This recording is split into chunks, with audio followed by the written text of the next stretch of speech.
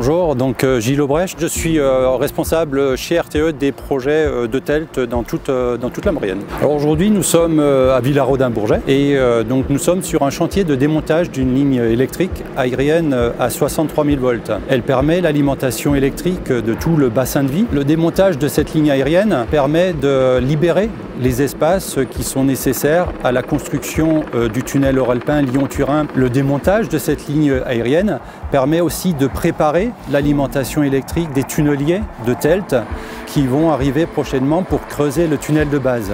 Les huit pylônes de la ligne qui vont être démontés aujourd'hui seront enlevés par un hélicoptère gros porteur appelé Super Puma. Les huit pylônes seront accrochés et seront transportés jusqu'à une zone de dépôt. L'utilisation de l'hélicoptère gros porteur pour euh, démonter les pylônes aujourd'hui permet d'éviter la construction de pistes qui nous auraient été nécessaires pour accéder à chaque pylône avec des gros camions, avec des grosses pelles métalliques. L'utilisation aujourd'hui des gros hélicoptères permettent de protéger les petites fleurs. Il est hors de question donc pour RTE de réaliser le chantier de démontage de cette ligne en risquant de couper l'alimentation électrique. C'est pour ça qu'il y a quelques semaines, nous avons euh, mis en service une ligne souterraine à 63 000 volts qui a été construite auparavant et qui permet de remplacer la ligne aérienne que nous démontons aujourd'hui.